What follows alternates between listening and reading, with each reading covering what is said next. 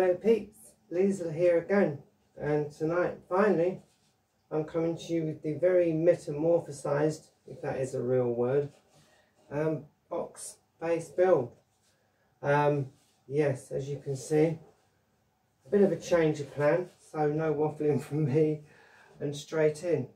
So yes, as we remember, we were going to use the lovely beer crate for the body of the instrument and this is the first time I've attempted to like play let alone build anything this tall and upright I must say. But um yes what can I say? The whole thing kind of went and disintegrated on the ground. Um yeah basically the pallet that we were using for the front of the instrument um, when I went to actually drill it and what have you the wood was very petrified in a way and it just cracked and split. And um, yeah very much the same with the beer crate really. It was still very dry inside and basically turned to powder and kind of disintegrated off the neck. Um, you'll notice that the neck's a lot longer on this as well than the one that we were originally going to use.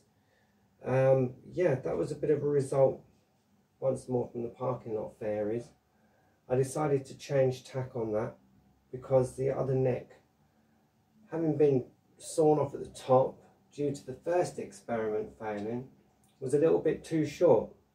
If you watch back over a few videos, you will understand what I'm talking about if you haven't seen them already. But um, we did manage to salvage anyway the bottle opener, which does seem to have made quite a fantastic bridge. I'm hoping you can hear this properly but I've had to stand right back in the sound lab just to fit her all in. I mean, I'm five foot 11 and she's nearly as tall as me, so quite a tall instrument. Um, but I am pleased that you can actually spin around. Thanks to the addition, let me just come closer, of the spike, which is in the bottom. So yeah, very much a hobo bass. She does seem a bit strange to me as uh, the body's kind of like halfway up here and I've never tried to play a double bass or anything like that. So I thought what can I do really? I thought well really she is a very large diddly bow just being played upended if you like. So I thought I'd start from there. But to run you through this one um, really it's a bit of a prototype as the box did disintegrate yesterday, I thought I'm going to go to bed and sleep on this. I was going to abandon the project to be honest, but I thought, no, there is another box and it's a much larger one. So hence a better sound and a lot more bang for your buck. But I didn't want to stop there and I don't, right?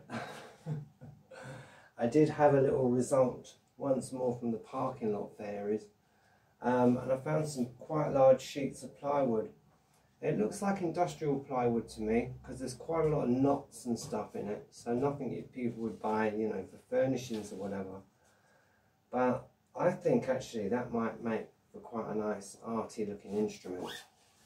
And I've decided that I want to extend the body and see what we get because I think we could probably get something quite amazing out of this so this one is pretty scruffy as you can see. Um, I just literally nailed a plank to the neck for the fingerboard.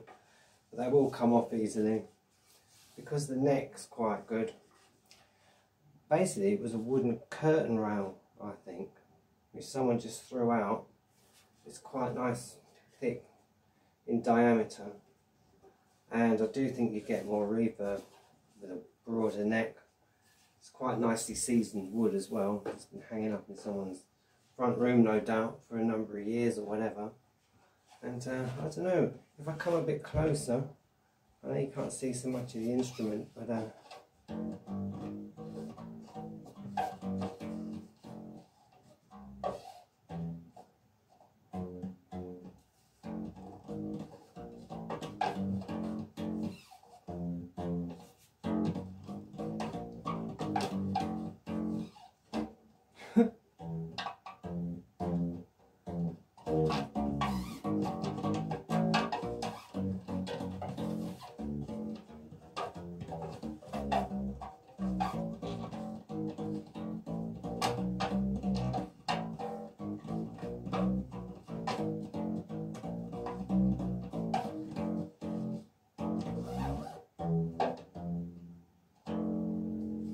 And as you can see, she is just the most amazing fun.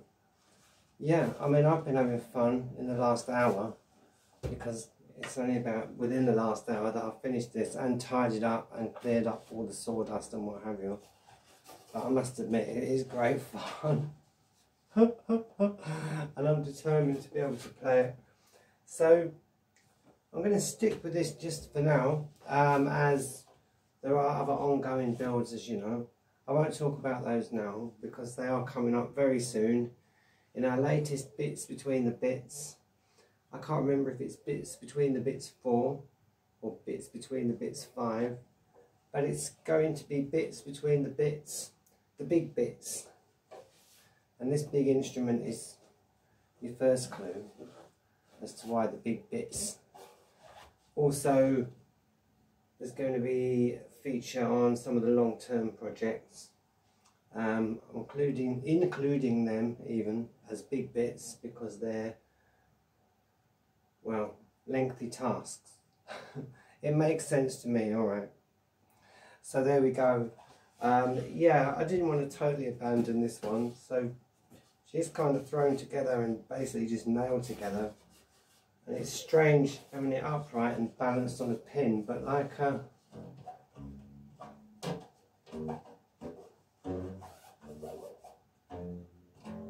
don't even know how you're supposed to stand with these really. But like I say, incredible fun. So a very ad hoc video, totally unplanned, but I thought, no, I've got to bring this to us tonight. Um, and yeah, I do intend to develop this one further because the neck's really good and I'm quite pleased how that's come out. So we can reuse that. And uh, I am starting to waffle. So I will leave it there for now.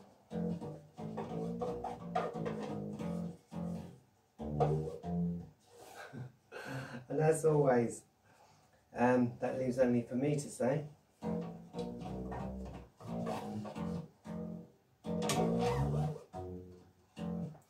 Wherever you are, do stay safe.